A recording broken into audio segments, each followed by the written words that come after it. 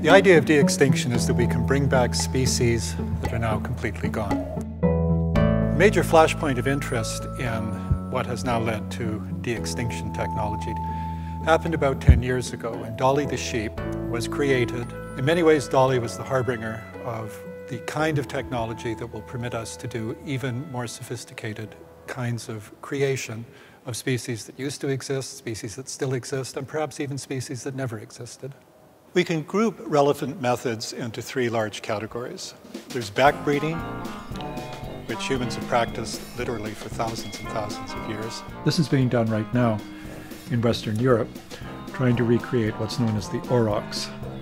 The way cows look today is not the way the cattle family looked 10,000 years ago. So if your problem is to recreate one of those primitive cows, what do you do?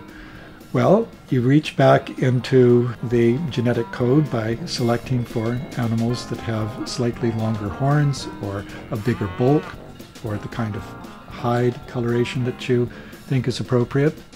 It is a very viable and low-tech way of de-extinction.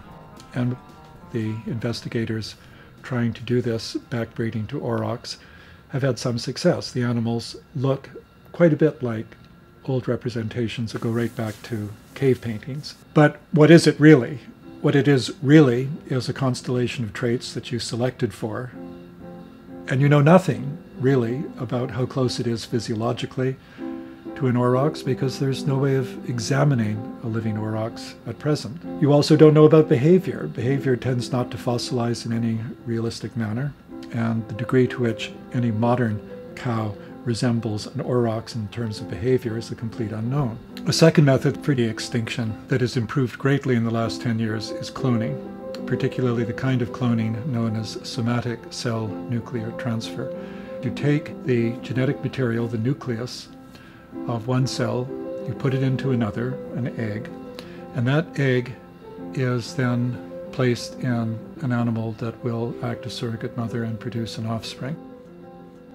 There's also been massive improvements in what we can call synthesis. Synthesis involves making up our own sequence, just like in a recipe. If you have two species, one extinct, one living, you can get the genetic material of the extinct one and compare that to the living one. Passenger pigeons died out finally almost exactly 100 years ago. Passenger pigeons have several very close relatives among pigeons, and one is the band-tailed pigeon, which is very close indeed. In recent years, scientists have been able to isolate the differences between the genomes of extinct passenger pigeons and living band-tailed pigeons. They have been able to inject these novel sequences into the germline of developing band-tailed pigeons and using surrogates with the sex cells of passenger pigeons. If you crossbreed them one to another, you will, in the next generation, get something that should look exactly like a passenger pigeon. Now comes the, the basic question here, which is what are you going to do with passenger pigeons, assuming that you go ahead and create a whole flock of them? It's been uh, estimated that there were probably more passenger pigeons than any other kind of bird ever. I don't know what we would do with a billion passenger pigeons. We don't like pigeons to begin with in this place.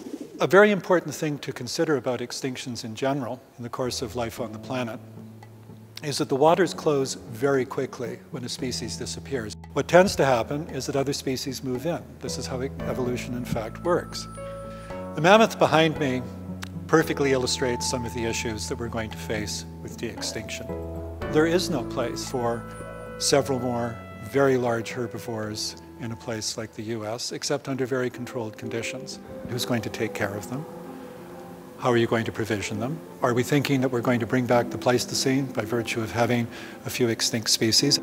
What we're really talking about is undertaking a whole lot of unplanned experiments, the consequences of which are very hard to predict. We don't want a situation in which we drive out species that are perhaps already endangered thanks to us with something else that we drove to extinction thousands of years ago. De-extinction, to the degree it will take place, should be limited in its scope, limited in its ambition, limited in the kinds of species that we bring back. But if there was one animal I could vote for bring back, it would be one of these giant ground sloths. If you want people to be interested not only in what the planet still has and how we might conserve it, but what the planet has recently lost, and perhaps most particularly what it's lost because of human activities, then to see these again, to see mammoths again in the flesh, would be an exciting prospect. It would raise rather than dampen interest in preserving what we have and what we used to have.